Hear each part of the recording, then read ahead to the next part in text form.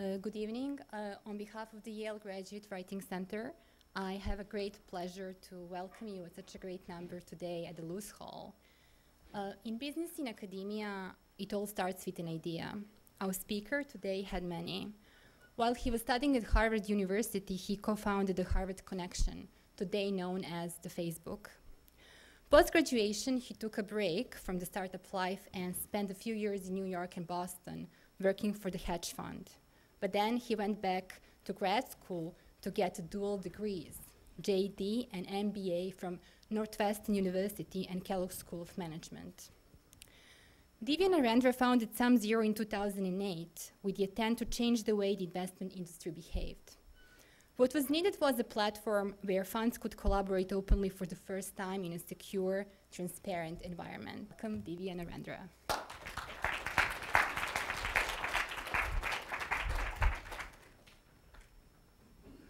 Um, well, first of all, thanks for having me having me out here in New Haven. Um, it's actually my first visit to uh, to Yale. I, I, went to a football game uh, a couple, like probably like five years ago, but never saw the actual campus. This is my first time being in an actual Yale building, which is kind of nice. Um, so I guess um, y'all wanted to hear about how to write a business proposal. Um, quick background on me. Uh, so I'm a local New Yorker. Uh, I was an applied mathematics uh, major. I majored in applied math as an undergrad at Harvard. Um, graduated in 2004, and um, you know I think I at the time I, I, sort of you know wasn't really sure where I wanted to to go post college, and um, I guess you guys probably experienced this too, being at a school like Yale where everyone seems to go into finance or consulting. Um, so I always felt like that was you know in a way like a, a backup plan of sorts. And I was lucky enough to come up with uh, the, the concept that you know, now you guys refer to as Facebook, but at the time it was called Harvard Connection. And I realized that you know, I really enjoyed entrepreneurship and I really enjoyed the creative process that, um, you know, that, that you need to undergo to, to really build a business. Um, and I think you know, step one is, is that, uh, you know, that spark and that, um, you know, that, that moment where you come up with something that you think is really cool and interesting and, you know, might have some sort of business value uh, over time. Um, so I don't want this to sound or, or come across as too academic. It's, it's not meant to be. I think a lot of the things I'm going to say are hopefully somewhat obvious, and, and uh, if not obvious, uh, uh, hopefully they make sense. Um, but I would say that the, the first thing to, um, to think about if you're thinking about entrepreneurship or thinking about starting a business is just keeping your eyes and your ears open as much as possible to the world around you. Um, and and what, what, what you'll find is that you'll see inefficiencies and problems and all sorts of you know, issues with the way you, know, you run your life. I mean, they might be, uh, they might have something to do with how you consume music or how you consume information or how you travel from point A to point B. But I think one of the differences between you know, the, the serial entrepreneur and maybe somebody who, who doesn't follow you know, that, that sort of entrepreneurial spirit is that people who are entrepreneurs tend to see problems as opportunities as opposed to, uh, you know, as opposed to simply annoyances in their day. And, um, you know, for me, when I was in college, eh, there was no way to connect with other students that efficiently. I mean, I guess you could, you have your classes and you've got lectures and things of that nature, and you obviously get to know people very well by doing homework sets and problem sets and going out to bars and formals and all the other things that happen in college. But um, you know, it was pretty obvious at the time that, that, that there was probably a better way to at least break the ice with people if you had some centralized online way to, to, you know, to learn more about those around you. Um, similarly with SumZero, my current business, uh, you know, I was working at a fund and I noticed that at least at my job, the people I wanted to get hold of the most were my fellow peers working at other funds so I could better understand uh, you know, companies that I was researching. So for example, you might, some of you guys might end up working at hedge funds one day um, or mutual funds or other types of investment firms, and you're going to want to understand markets better. You're going to want to understand companies better. And part of that involves doing your own diligence, which is, you know, you might go read, um, you know, a 10K or a 10Q, or you, you might go to like the SEC website and start reading more information about companies. You might go to the company website itself. But you might also want to talk to a friend who was maybe your year or a year older than you who works at another fund who's done a ton of primary research. And before SumZero, there was no efficient way to find that person, um, especially if, you know, for example, maybe you're looking at something that is international or maybe your friends don't cover it. And, and so how do you find that person? Um, so isolating kind of problems is, is I think, step one. Um, step two is understanding the value of, of, you know, what a solution could be. I mean, I think there are lots of things, um, you know, that that might strike you as annoying or, or, might you know, be problematic, but don't necessarily result in a very valuable business idea. Um, so I think one thing that um, you know, I try to think about is just understanding the market and understanding the size of the opportunity as being a very basic step in evaluating whether you want to pursue it as an actual business. Um, so, so what does it mean to evaluate the size of a market? So ideally, ideally there's some kind of um, there's some sort of numerical ballpark that you can arrive to where you're like, wow, this is really exciting. So, you know, I can imagine the guy who invented, you know, the car, or uh, you know, this is this is going to sound crazy, but if you happen to be, you know, uh, an engineer working in, you know, you're getting your PhD at uh, at Yale in physics or engineering, and you create the next space elevator like that's awesome because that's a huge, you know, that would be amazing if we could all travel to space and we could, you know, be Willy Wonka and do crazy things like that. Like that's something that has enormous business value. Obviously, no one's created such an elevator, but just as an example, um, there's probably a huge market for something as crazy as that. Um, it turns out there was a huge market for search, right? You've got companies like Google, um, Bing, Yahoo that attack that market. And the reason they attack that market is because it's a huge market. It's a multi, multi billion dollar market. Um, there are obviously a lot of entrepreneurs who don't attack big markets, and that's okay. But the advantage of, of targeting a market that's very large is that it leaves a lot of room for error. So one of the things that I think um, you know, uh, you'll notice amongst most entrepreneurs that they tend to screw up a lot, or they tend to they try a lot of things, and a lot of those things don't work, and then eventually they find solutions that do work, and some of those solutions end up in, in, you know, in real businesses. But if you're at least playing in a space where there's a lot of room for growth, or there's a huge customer base, and you know that there's a willingness to pay for a product, and that willingness to pay is large, and you've got a lot of customers willing to pay a certain price for a product or service, at least that gives you kind of this margin of error where, you know, when you think about all the things that go wrong when you're starting a business, you know, that, that includes, you know, being able to raise capital, that includes, you know, risks around the team that you set up, you know, product efficiencies, like all these sorts of issues that come up become, you know, easier to deal with if your end goal is something really, really big. So this is like a pretty obvious point, but I think it's something to consider. And you'll find that when you talk to investors, um, most investors, so this includes venture capitalists, this includes, you know, family offices, high net worth individuals, angels, one of the basic things they're looking for is just a better understanding of if you get everything right, like what is the size of that market? So I think that's kind of something to, uh, uh, to think really hard about. I've got my notes here on this page of the things I wanted to talk about. So that was one, understanding the market. Um, the, uh, one of the other things to obviously think about is, um, you know, whatever your service or whatever your product is, just having a good sense as to the customer, right? What are the pain points of the customer? Um, super, super important. Um, so with SumZero, let me just backtrack a little bit just to describe SumZero a little bit. Uh, so I started SumZero in 2008. And I was, in 2007, I was working at a hedge fund that managed money for Harvard's endowment. And the fund actually shut down.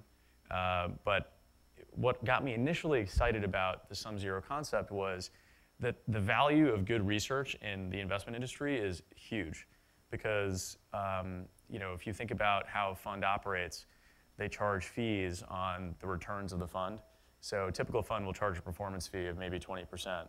So if if the analyst or portfolio manager makes an investment and he's correct, meaning he had an idea and he was right about his analysis, and let's say he allocates, you know, he, he puts on a, a trade, maybe that trade is, you know, a couple million dollars. And, and, and, in the case of many funds, it might be significantly larger than that. Um, the returns on that one idea are so high or you know, generate such high raw dollar value that you know, if, if, if, if, if I can come to that portfolio manager and give him a really good investment idea and he makes money off of it, um, like that's great for me too, and he'd be willing to pay a lot of money to get access to that idea, right? So what I was thinking was, well, if you can, you know, if the value of one good idea is really, really big, if you can aggregate tens of thousands of those into one platform, that's got to be worth something.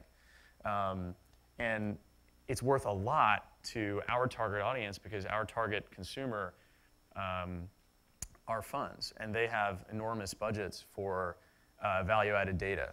So just as an, this is a data point, but I'm sure many of you have seen Bloomberg terminals your, uh, at some point, maybe uh, at least in a photograph. These really clunky devices with, with like screwy key, keyboards, and you know the way Bloomberg works is that there's a set of codes that you have to you have to know to be able to access various types of data, which includes pricing data and research and other kinds of data. Um, a Bloomberg terminal is about $2,000 a month per terminal. So you have, you know, you have mutual funds that might have 100 analysts, where each of them has a Bloomberg terminal, and each of them is paying $2,000 a month uh, just for access to that terminal. Um, and, and, and this really, I mean, an individual, like somebody like me, like I would not pay as like a single person, you know, 24,000 or $20,000 a year for access to Bloomberg. But if I'm working at a fund where my entire job revolves around, you know, amassing information and making sure that I have, you know, as much useful information as possible to make an investment decision that could earn my fund, you know, tens of millions or hundreds of millions of dollars, like I'm going to pay that fee uh, for access to that terminal. And so, at least in our industry, or in, in, in the industry that SumZero plays in, that willingness to pay is quite large, and most of, the, most of our target customers have budgets in place uh, for things like SumZero. So we don't have to, you know, uh, necessarily, you know, go to them and say, you need to allocate more money for research. All we have to make, we just have to be able to make the argument that you should shift, you know, what you currently spend for other services to us. But at least there's that budget in place for what we're trying to sell. Um, so having a rich set of customers is, is definitely a good thing. And if you have a lot of them, that's even better. Um, so this all sort of, again, ties to understanding the size of your market opportunity. Different businesses obviously have kind of, um, you know, some, some businesses have kind of like a high volume, low margin approach or, or a, high, a high volume, low price, low average price approach to um, their businesses. Other businesses like ours, we're much more niche oriented and we're trying to sell a much higher price point, though we probably won't have the same volume that you know a consumer-facing website would have. But when you multiply price by total customer base um, by some conservative penetration rate, you should be excited. Like you should look at that and be like, oh, this is this is a market that I want to play in. Um, so another thing that I wanted to talk about uh, that's super super critical is is just the general notion of differentiation. Um, now, many of you probably could, if you wanted to, buy like, uh, I don't know, uh, a Subway, you know, store, or you know, become a franchisee, or start a local kind of, you know, uh, uh, you know, a local like retailer or something that's small that you know, where the business is fairly understood, and but but whatever you do, whether it's something really small or something really big, I would like highly recommend that whatever you do is as differentiated as possible. And um, there, there, are significant consequences to that. One, if you have a business idea that's unique, uh, one, it becomes easier to market, right? So when you're explaining your concept to somebody, if it turns out that there's nobody else offering that product or service, um, you know, at least you're, you know, you're, you're in a way protected somewhat from existing competition because nobody actually is, is selling that same product or service. So with SumZero, like we're trying to create a new database, right? This is a database of buy-side research. Historically, hedge fund analysts never publish their research. So we're trying to get them to do that.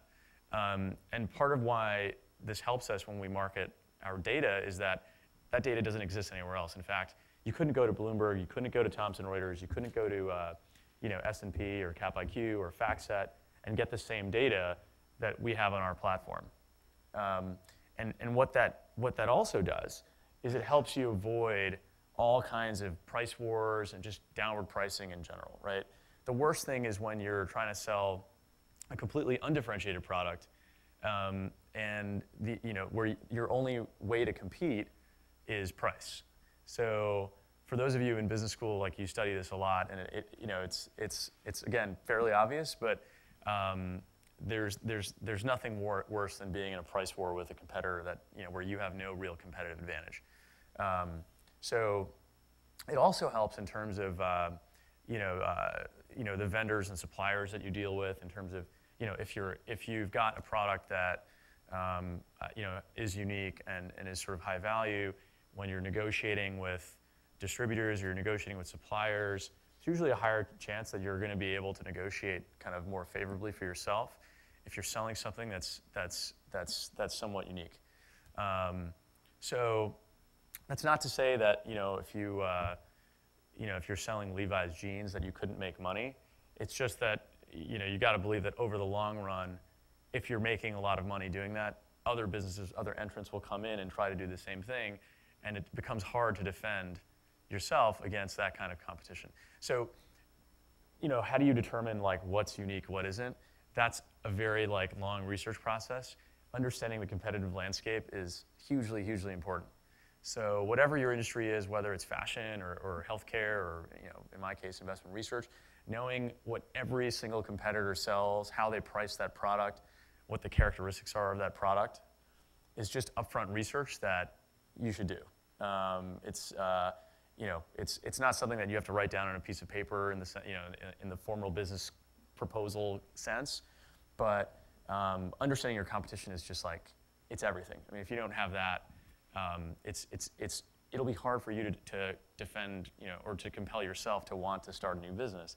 So that's, that's, that's really important. Um, the other thing that um, at least I think about, and I don't know how much, if this is sort of industry practice or not, is kind of the question like, why, why now? So when you, when you, if you have a new idea, so one of the risks to, to, have, to being too creative or too original is that maybe customers aren't ready for like whatever it is you're bringing to the table. Um, and you know, we kind of face this problem at SumZero, uh, though I think we're starting to overcome it. Um, but you know, is the market ready for the product that you're trying to sell?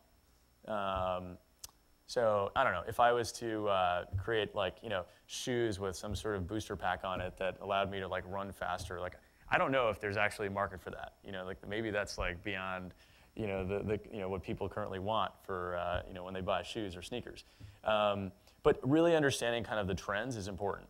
So one of the, this is an interesting data point as well. So one of the reasons why I think like Facebook did well when it launched, um, and this was, you know, circa 2004, call it February or March 2004, whatever it was, um, was that at that time, uh, cell phones um, were starting to have cameras built into the phone. And people would take photos of each other using their cell phones. I mean, today it's obviously common practice, but that sort of feature dates back to about the same time that social networking as an industry started to take off. And um, you know, if you think about what what networks today um, are, are, you know, if you look at the largest networks, I mean, they're basically Facebook and and, and Instagram. I mean, these they, they, you know, a huge chunk of the data that's being aggregated are actually photos nowadays it's beyond that. Now, now you've got video as well. But um, you know, I kind of wonder what you know whether this we would have seen the same growth um, with the use of, of Facebook if if smartphones and if if uh, you know at least camera-enabled phones didn't exist back then. Um, that was a trend that was starting to take off. Um, I think in, in my industry, like in general, like we're seeing more and more of a trend towards transparency. So it used to be the case that the hedge fund industry was extremely secretive. And, and some of you might wonder, like, why do people share ideas in my industry? We can talk about that at some point. But, um, but, but you know, some of this is kind of governed by just you know, the SEC and regulatory agencies, but there's more and more transparency in our industry. And so that makes it easier for me as like, you know, the business owner of a website that's promoting, you know, the sharing of information because, uh, you know, that old school way of thinking is kind of changing, that you shouldn't share any of your ideas. Um, so anyway, that, that, that sort of why now question is, is, is an interesting one to ponder as you're thinking about like your, your business idea. Um, you know, sometimes entrepreneurs come too early or they're, they're late to the game.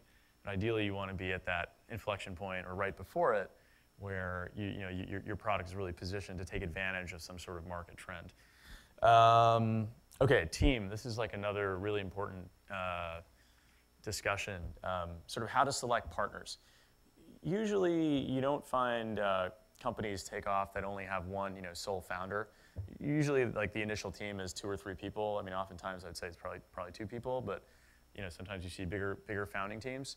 Um, you know, one of the things I struggled with when I was an undergrad was just I, because I wasn't a developer, finding somebody who was a developer was was was hard because a lot of them speak a totally different language. They have a different skill set, um, and uh, you know, I mean, you, you you have to in a way convince other people to want to work with you. So how do you do that? So one, I think it's really important that you, you build teams where people have complementary skill sets. So you don't want to have you know three guys or three you know three women on a team or whatever the combination is where they all do the same thing because that's not going to really um, be the most efficient way to build your business. Um, uh, and then part of it is also just sort of selling. So let's say you're the one with a great idea, and you know you know that you lack technical skills. Um, one of the things that I think is like pretty, I don't know if there's something that's, that's taught or what, but um, that's sort of the skill set that involves getting people just to sign the dotted line, so to speak, is something that you have to become comfortable with. And they don't really teach the art of selling in school, but that's something that I think is probably a trait that you'll find in most entrepreneurs, that, that, that they tend to be good salespeople. And whether that's selling a, you know, physical product or a SKU or whether it's it's, it's simply building a team. That team building is a huge part of what founders do. Um, and, and, and my goal is like, I'd love to be running a business one day where I don't even have to come to work because I've got all the right guys who are there, um, you know, doing what they need to do to build a business. Um, and so recruiting is, is, is a huge, huge hurdle. Um, it's, it's probably the, the number one hurdle for most startup entrepreneurs is, you know, how do you find the right people? How do you find the right person to help with marketing? How do you find the right technical guy? How do you find the right co-founder? Um, you know, so part of it's just you being analytical about what kind of team you want, and part of it is is kind of the selling. And then from a compensation standpoint, um, you want to make sure that everyone you work with is, is motivated to do a great job. So, you know, at the beginning when you have no money and you're just kind of scraping by, the only way to do that is through, I mean, typically by giving them some ownership in the business. And my one sort of piece of advice there is, you know, you don't want to be too greedy. You want to. It's much better to own, you know, a small piece of a big pie than a big piece of nothing. Uh, which is again like kind of goes without saying, but you always see people getting into arguments where, you know, like the two founders are, are, are, at loggerheads because of their equity split or their, their allocation that they're not happy with how they're being you know, what portion of the business they own. But in reality, in the long run, what's best for the business is, is going to be what's best for any individual shareholder in that business. And being you know, sort of thoughtful about how you structure the ownership of your business is, is very, very important. And it's so important, in fact, that when you try and raise capital, if you try and raise capital, what you'll, what, one of the questions that any VC will ask you is, you know, what's your cap table look like? Who are the owners in your business? How much do they each own, and what are they doing for that business?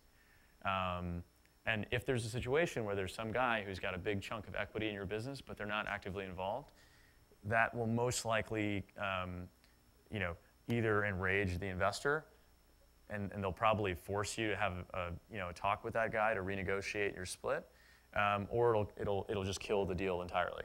So that's, that's something to, to just think about. Um, okay, advisors. I've, uh, you know, um, a lot of startups have advisors, uh, or they set up some sort of board of advisors. I've personally never had a formal set of advisors. I feel like most of my advisors have been somewhat informal. Um, I don't think there's a right answer on that front. I think for those of you who, uh, you know, like want kind of a formal board, that's fine. Um, I think the, the most important thing, though, with respect to advice is just seek as much of it as possible. So you know, a lot of people, and I mean, this goes beyond just entrepreneurs, but people tend to be insecure about a lot of things. One of them, you know, one of those things might be their business ideas. So don't be insecure. Go and get feedback. Talk to as many folks as possible. If you have, um, you know, a concrete sense of what your product or service is, go ahead and talk to a potential customer. Talk to 20 of them. uh, and see whether they would find that product or service useful. Um, those are the sorts of channel checks that any investor would do if they were thinking about putting money into your business. But it's the sort of thing you want to do yourself ahead of time. So before you, you know, um, put too much time and capital into an idea, uh, you know, try and establish what the real demand for that product or service is, and be totally honest with yourself. You know, I think um, just being uh, like having that sense of humility about what you're trying to achieve and, and what the real status is of, of your product is, is really important because if you don't know what's wrong with your product, or you don't know what's wrong with your service, you're not going to be you're not going to be moving in the right direction. You're not going to be solving those problems. And the best way to get that is through you know customer feedback. Um, so anyway, um, okay. As far as uh, the business plan goes itself, um, there's nothing original here, but, but the parts of it are very straightforward. I mean, you want to have sort of a, a statement of what the problem is that you're trying to solve. You want, you know, kind of your solution. We talked about market sizing. That's, that's a very like important initial uh, component to have in your, in your, in your, in your formal, formal business plan. Um, as far as um, the, uh, you know, the financials go, all that sort of stuff, you know, most investors in early stage businesses like realize that, um, you know, when they look at a when they look at an income statement or a cash flow statement from an entrepreneur who's, you know, just starting out, most of it is kind of hocus pocus, right? It's kind of a hand waving exercise, um, but it is important just from like a, a discipline standpoint to just on paper write down kind of what you think, what are the levers that are going to drive revenues, or you know, what are the major costs, and how are they going to you know, um, at, least what are the, the big ones, the big drivers of costs, so they can understand kind of what the unit economics are of what, of what you're trying to sell. Um, some investors, depending on what stage you get, will want a more detailed operating model that'll go, you know, into, you know, just more detail on the individual expense items. Um, if there's multiple revenue streams, you'll want to kind of attack each one of them uh, in a more detailed fashion. Um, and, uh, and then also, I think one of the things that people don't, I think when, when people are coming up with ideas, they don't really think too much about is how do they plan on marketing their business? Um, you know, today we live in a day, I think, where in our age, people are used to reading stories about companies like Instagram that, you know, were, yesterday were nothing and today they're, you know, billion dollar businesses. There's a huge amount of just selection bias when you read a newspaper about a company that's done well. For every one of those companies, are just I mean, there are like a thousand that have failed miserably um, and don't have that like viral growth pattern.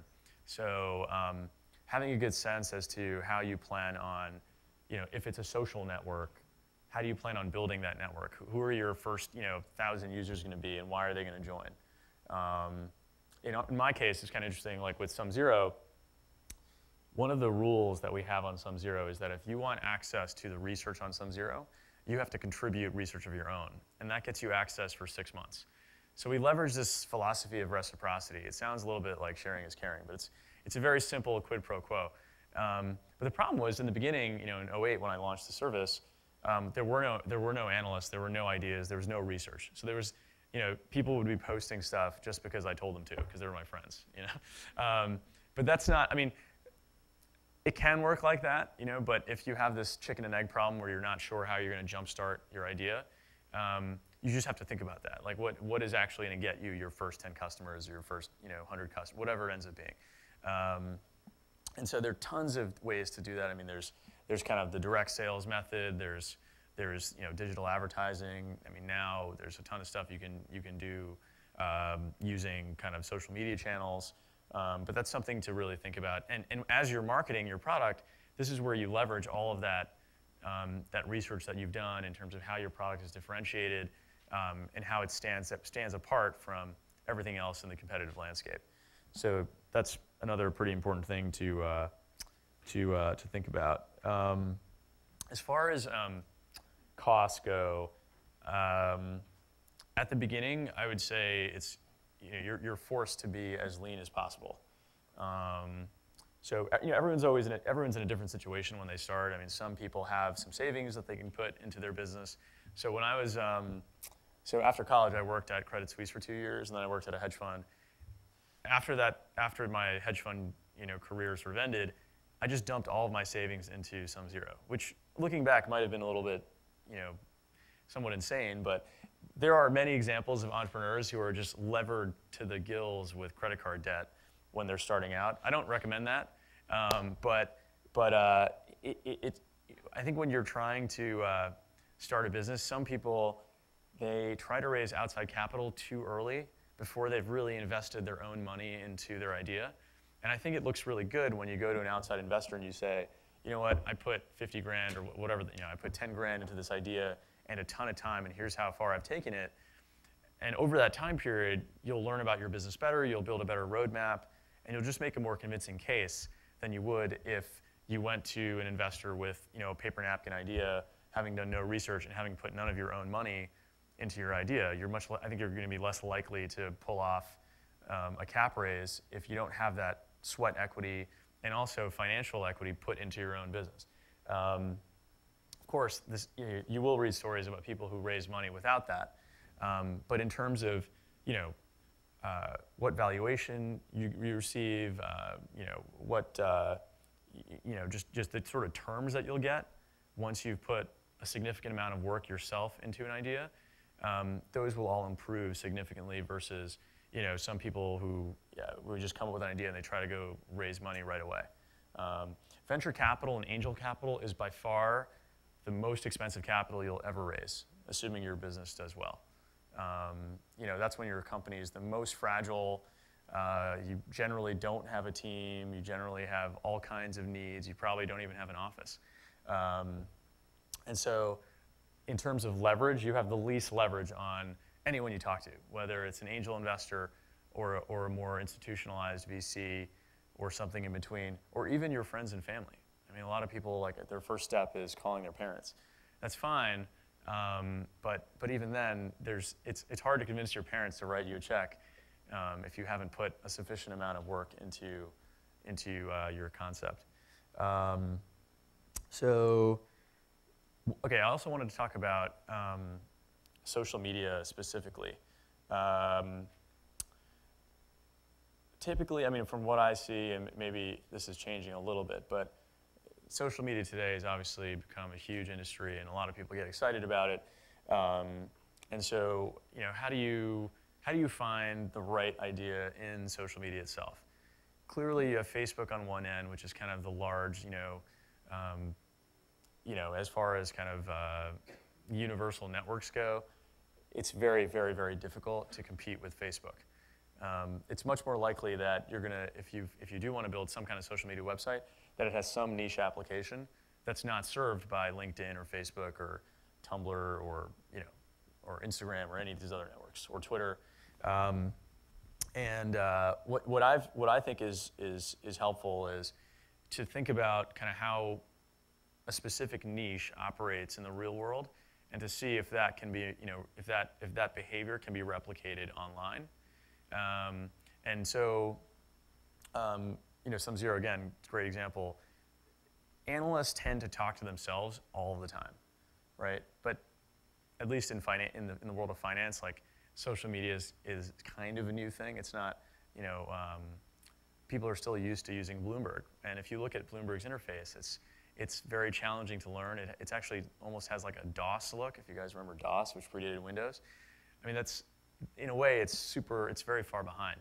Um, and so, you know, given that, at least in the professional investment world, people like sharing ideas because it helps them make money, to me, it made a lot of sense to like, okay, let's connect this like very, very specific niche of very high value folks. And, and, and what's nice about our particular community is that we can gamify the entire SumZero community because they're writing about things that trade in the markets.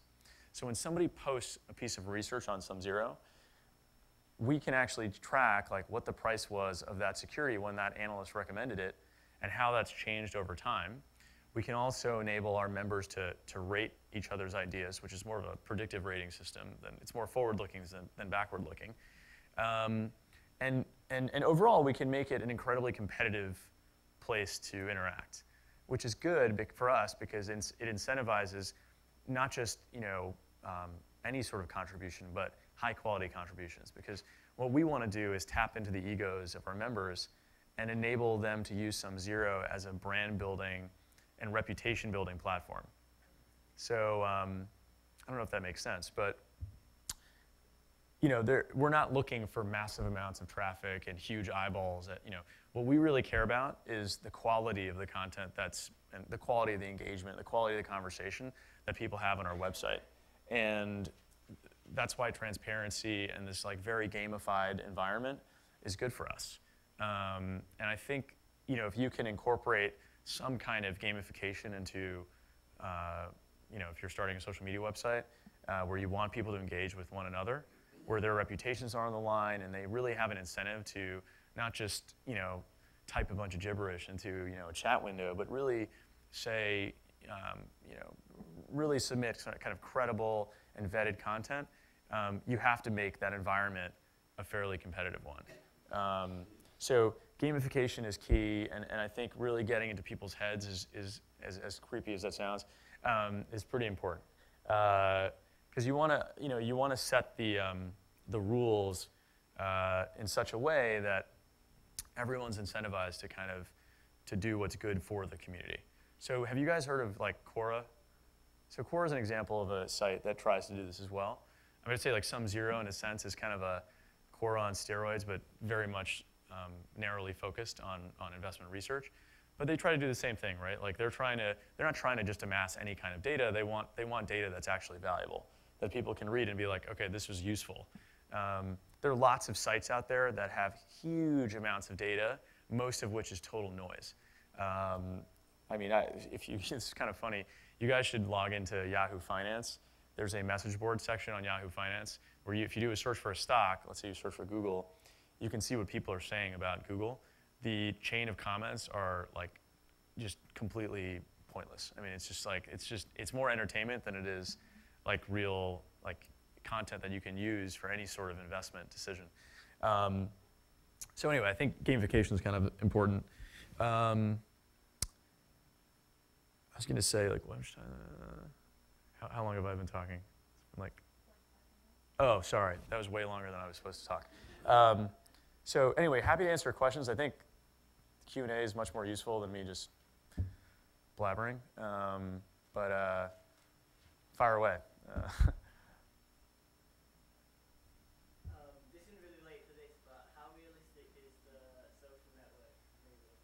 Oh yeah, that's a. Uh, you're right. Unrelated question. Um, well, the material, like the, the, the, the, big point, the, the material facts of, of the movie are accurate. Um, there's just a lot of dramatization. So, um, like personality-wise, like none of us were interviewed before the movie, so you know, I don't think the director or the, um, you know, Aaron Sorkin who wrote the script had a great sense of what we were like on a personal level. Um, but I, I, thought the movie did a good job of not overstepping its bounds. So there were certain things that, you know, they didn't know because they wrote the script in, I want to say 2009 maybe. Uh, and at that point, the actual, the, the, the, events, you know, the litigation process hadn't, it hadn't uh, ended. So um, I think they had their lawyers take a very close look at, at the script to avoid getting sued. And, you know, but overall, I think you walk out from that movie thinking, you know, sort of, one, I, it was entertaining. So, so, I mean, at least I thought it was entertaining. Um, but, but, but two, you know, you, like, because I've asked some folks, like, so, you know, whose idea do you, do you think it really was? And they'll be like, oh, not really sure, you know. So they, they don't make any, like, um, they did a good job of just staying within what they've, what was in the public domain. So they used depositions, they used, uh, yeah, I guess there, were there um, you know, certain articles that might have um, from the Crimson, like things like that, that were in the public domain uh, without assuming too much about what had actually happened. But it is Hollywood, so keep that in mind. Um, I was played by a guy who's like yay tall and uh, doesn't look anything like me, but uh,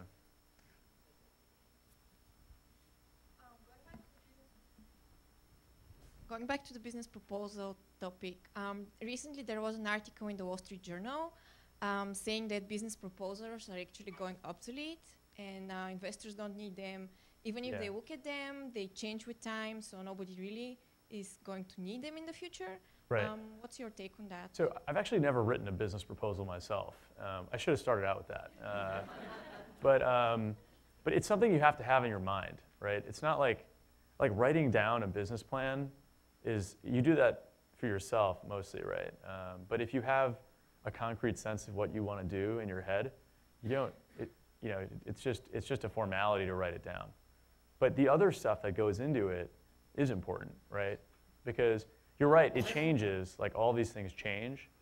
But I think if you want to maximize your chance of getting it right, if you're not doing your research on who are the other players in the market, if you don't understand how similar products are priced, if you don't, if you don't have that in your head, it's like you're not, you're, it's almost random, like where you start, right? Um, I think what happens is, like, you have to convince yourself that okay, if I you know go down path A, and then it doesn't work, like then you then you can pivot and do something else. But it, you don't want to be going down like a, a, like a path where you can't leverage any of the stuff you've done on that path for your pivot, right? So the stories that you read about you know businesses changing their models. So Groupon did this, right, where they used to be kind of they had like a nonprofit bent, but they were even though they switched gears, they were able to use what they had they had done to make that change a smoother change.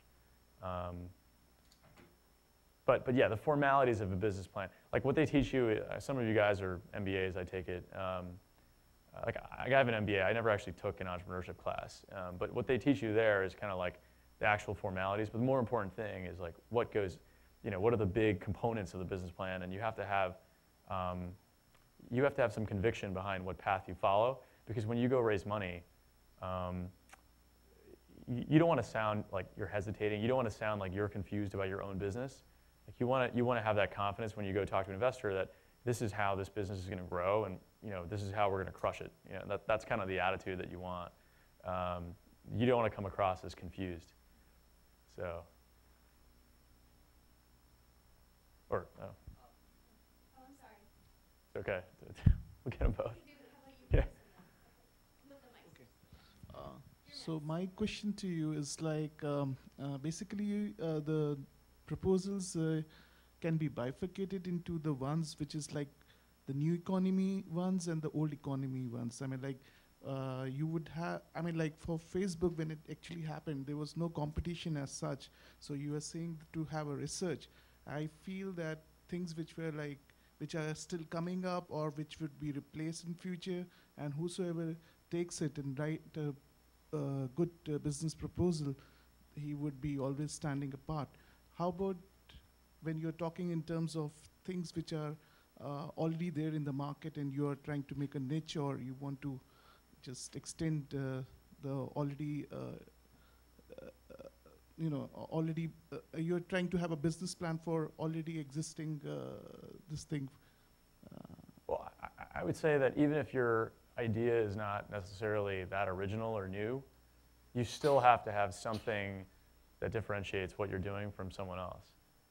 Because I mean, y- you could, I mean, look, like, you could do something that's been done many times before and, and just replicate it, but try and target a new market, right? Or try and, try and, you know, you have to have something that's, you know, maybe you have access to a distribution channel that the existing players don't have access to. Or maybe there's a slight tweak that you're making that makes it better. I mean, I would say that all industries today, just given the nature of technology, are affected by technology, right? Like, like whether it's an old retail business or, you know, uh, you know, something in biotech, which is like, you know, all about tech or technology, high technology, you should have something in there where you're leveraging what's new and innovative to make your business better. Because if, because what's the point of starting something that's been done before with no, No, I mean, I meant was like, uh, how would you differentiate the business proposal for the new ones and the old ones? oh, there's no difference. There's nothing, I mean, uh, the whole purpose of a business proposal is to show how your business is going to make money, right? So the, the revenue model, the costs, understanding the unit costs at, at scale, like that, that's really, right? That, that's the whole purpose of a business proposal. But that, that's not unique to new businesses or, or, or uh, new versus old, right? Every business is trying to make money. I mean, um, it's pretty, yeah. Like what, what changes are the products and services themselves, but I think if you look at how businesses are analyzed, if you look at how businesses are valued, that hasn't changed at all.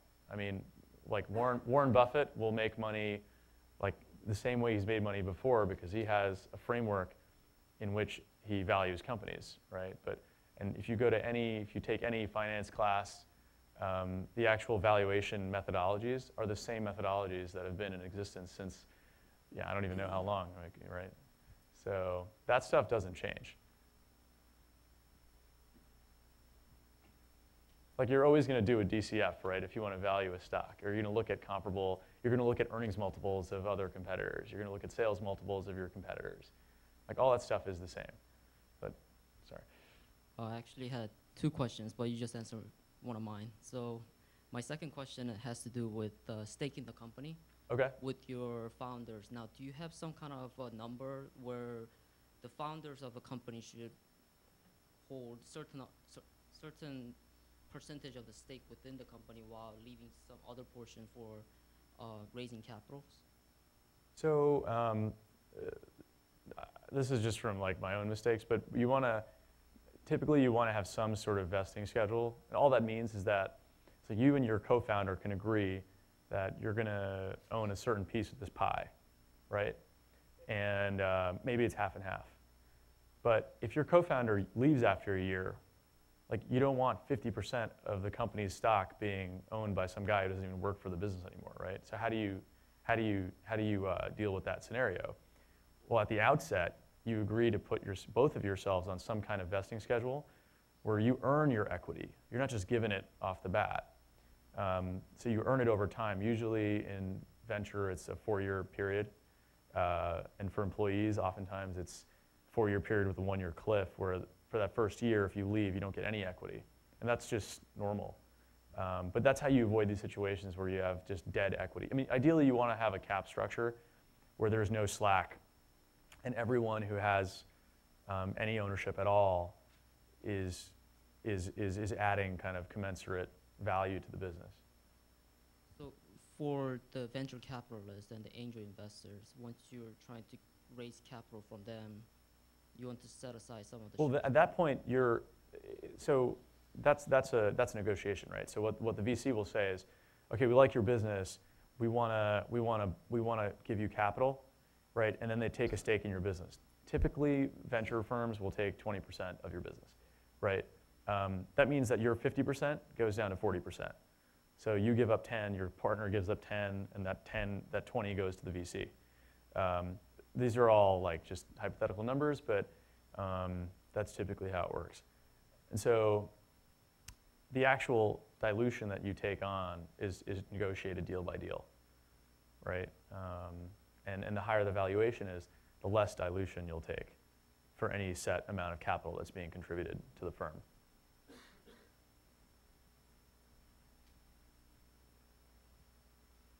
Uh, good evening. Hi. Um, I was curious. So we're talking about how even the most well thought out business proposal at the beginning um, is probably going to undergo some changes and Yeah. tweaks and all that. Um, so I was just curious. I guess it's kind of about like the politics of raising capital and going around and, and raising funds. In that, if you've found that your proposal has changed, um, are there like legal obligations to go back and, and talk to people that have already secured you've secured funding with? You ever had issues? I'm just curious. if Well, usually there's a board, right? So if, if you raise money, um, one of the terms of raising capital is a board seat, and it might be more than one board seat. Um, but usually an early stage inv- investor will want at least one person from his organization on the board. And so, yeah, I mean, I, there's, it goes without saying, like, you should be totally transparent with your investors. In fact, when they invest, many of them, you know, like they will require that you give them financials, that you, you might, they might require that you talk to them on a monthly basis or something like that. Um, so that's not really politics. That's just kind of um, good business, you know, practice. Um, and, and, and it's also good to maintain that dialogue because because of the inevitable screw ups, like if they have at least an understanding of what your problems are, they can try and fix it. I mean, anybody who's doing early stage investing is aware of the fact that they might not see their money ever again, right? It's, it's like film financing. Like nobody gives, I mean, it's not like totally like film financing, but a lot of investors who write checks to directors like never see that money again. Even movies that you probably like, you, you make no money. You know, venture is better than that. Like you know, I think the returns are better in venture, but still, it's most of them understand that there's a lot of risk to early stage investing. But as long as you're upfront with them about it, it's it's going to be, I think, uh, you know, you, you won't burn any bridges. The worst thing you can do. I mean, I knew a guy who this guy raised like three million bucks from like 10 different firms and burned it all in like 18 months or something. But because each of the firms had a small percentage ownership in, like they, like each of them probably had like 5% or less, none of them had a board seat. So none of them were clued in into what was going wrong with the business. And then $3 million later, it was just like a wipeout. It was a total bagel. And like you can imagine the reaction from all those investors who were like, shit, like I just gave you, you know, a quarter million bucks or half a million dollars and you burned it without letting me know what was going on. So those are situations you, you know, th- again, that's not politics, that's just terrible business practice. You know, it's poor business practices. So We have time for one more question.